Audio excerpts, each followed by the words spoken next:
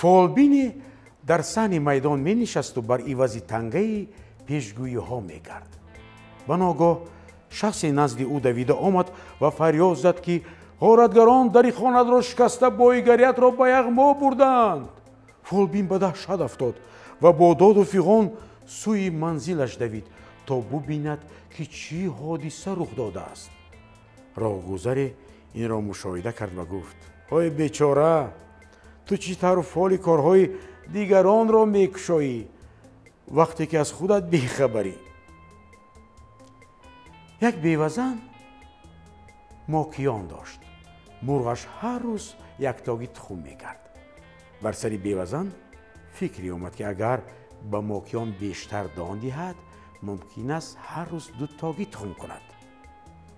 Вале дери нагузашта мокиён аз серобии дон сахт фарбеҳ шуд ва аз тухмкунӣ монд.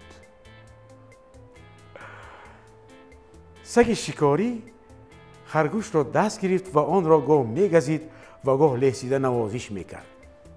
Харгӯш аз ин ҳол ниҳоят ба танг омад ва гуфт саги меҳрубон ту маро ё буса мазан ё даҳон маяндоз вагарна ман аз куҷо донам ки ту ба ман душманӣ ва ё дӯст